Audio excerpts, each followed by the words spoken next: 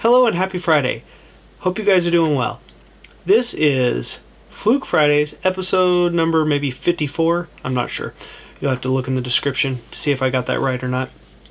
Um, and today, what we're going to be talking about is the most common pressure calibrator on the planet the old pressure gauge and a hand pump. So, we're going to just talk about that, highlight that, also go over some question and answers from you guys.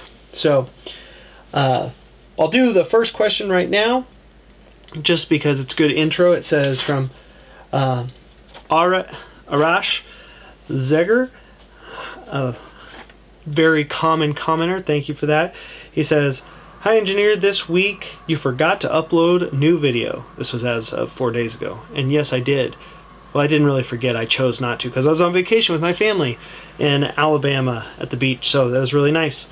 Um, we were waiting for your videos. What happened? So that is exactly what happened. I took a vacation last week and I decided instead of recording videos in advance or recording one on the beach, um, I decided that I'd just skip a week. So that's why you missed a week from me. Anyways, we're going to be back at it this week, right? So here we go. So, pressure gauges. You know, a lot of people don't think of Fluke for pressure gauges, and I think I actually did something uh, a video a long time ago on pressure gauges. I don't know, it's probably in one of my playlists. But if you're not familiar that Fluke has pressure gauges, we do. The, there's yellow ones that are wrapped in yellow, and those are more for the industrial maintenance guys, the people that are in process manufacturing, going out in the field and doing your pressure calibrations. Obviously, you could just tee this into anywhere. It's going to be four times more um, accurate than most of your Rosemount gauges and stuff out there that you need to calibrate. So it's perfect for that. You can, if you want to simulate pressure, not just do a side-by-side comparison, then you bring along a pressure pump, connect with hoses and fittings, pump it up, and get up to what you want. Um, I will turn it on for you and kind of show you the backlit screen here in a second. Just know that this yellow wrapped one, this is for more of that industrial customer, and they are highly accurate, but then we also have an even more accurate version, uh, or Fluke does, in the Fluke calibration side. So if you need even higher accuracy than the yellow ones, then check out the gray ones on the Fluke Cal website um, for even higher accuracy. So I just wanted to kind of highlight that today. Um, here is the backlit screen. You can kind of see it's blue. Let's see if I can turn it on off. Yeah, there you go. Turn my overhead light off and see if you can see it more. Ooh, look at that. Nice blue color. And you can do a whole bunch of different pressure uh, units and different things. So it's got recording capability too and a computer access panel behind this rubber boot um, if you want that. So anyways, kind of got dirty sitting on my desk. Okay, and we already did question one. So let's jump into Q&A and we'll talk about question number two. This comes from Awesome Electrical Engineer. Again, this in this past week. Hi, where can I get one of those Fluke Power Quality demo boards and what would be the cost? I'm based in the UK. Thanks. So I'm based in the US, uh, in Ohio, Cincinnati. So I don't know for sure, but I believe this is going to be the same item number no matter where you are in the in the world. Uh, I did do some googling and found a couple websites, one in Australia, maybe one that was in Europe. I'm not sure. But here is the item number if you want it. It is item number 4483703. Again, 4483703. And when we're talking about there with the power quality demo cases, I've done several videos where I'm showing three-phase power quality, either with one of my power quality units or with um, like the Fluke Connect system where you have different modules. And this demo case, you can plug it into an outlet and from there you can choose whether you want it to be 50 hertz or 60 hertz and then it will produce from a single phase, it will give you three phases and give you little current loops that you can loop around and little voltage probes so you can do voltage and current on all three phases in a classroom type setting. So there are customers that are at that have asked for this before that they want to use this for training purposes. They want to be able to bring three phase into a uh, into a classroom setting. This is a great way to do that. They're not cheap. Um, you and I'm not going to give you a price because I don't know what it is in the UK. So you're going to have to look individually. Either uh, you can probably call Fluke Parts and see if they'll sell it to you, but most likely you're going to want to go through a distributor and just give them that part number that we talked about. So I hope that's helpful. And if if you're somebody that wants one and you, you get hung up on it, uh, let us know below. But uh, that item number should get you pointed in the right direction. You might need to go to your local uh, Fluke website, depending on what country you're in, and go from it from there. Just at request a demo or request a salesperson or something. Give them that part number and tell them that's what you want, and they should probably be able to point you in the right direction. Okay, question number three. Trevor Alsop. It says, when in ohms, does it display results in one or two decimal places like the insulation resistance tester? So this is speaking to the 1587 F yeah, 1587 FC insulation tester. In the ohm setting, are we getting one or two decimal places? It's a great question. I forgot to grab mine, so I'm going to go grab it. I'll be right back and we'll finish this video. Okay, there and back again, like Bilbo Baggins. So, I got my 1587 FC right here. We're going to turn it on and see if it's one or two decimal points in the ohm reading. I just have it shorted out so we can see. Whoops. And you can see it is one decimal point. So a tenth of an ohm is what you're going to be seeing. Let's hit the range and see if we can change that at all. Nope.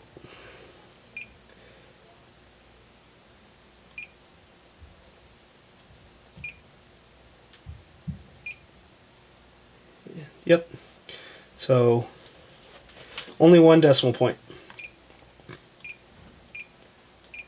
All these are kilo ohms, mega ohms. Without kilo or mega, you only see one decimal point. So hopefully that answers your question, Trevor. And let's see. Another question from Thomas Madovinovic. Um, I probably butchered that. Sorry, little dyslexia on me. It says, I've recently purchased an 87.5 and a 325 clamp meter. The leads on both were replaced with TL1 uh, were replaced with TL175s. The silicone sheath is so much more flexible and unravel with when taken out of storage. The Standard leads are okay, but I've found, uh, but found myself toppling the meter off when when it's standing and trying to manipulate the probes on the job. Okay, so what he's talking about, what Thomas is talking about here, is the uh, the test leads, the twist leads that I've done videos on in the past. The they're more of a premium lead, so the the silicone lead itself is much more flexible. And what he's talking about is you know, the standard leads like a TL75, although they're okay, they, they do have a, a more stiff lead. So the wires don't unfold as easy and he's found himself knocking his meter over.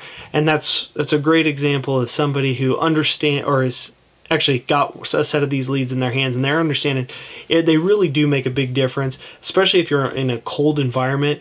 You'll see those uh, the standard test leads they just won't un, they're like a accordion, right? You, you have to really stretch them out before they'll straighten up for you.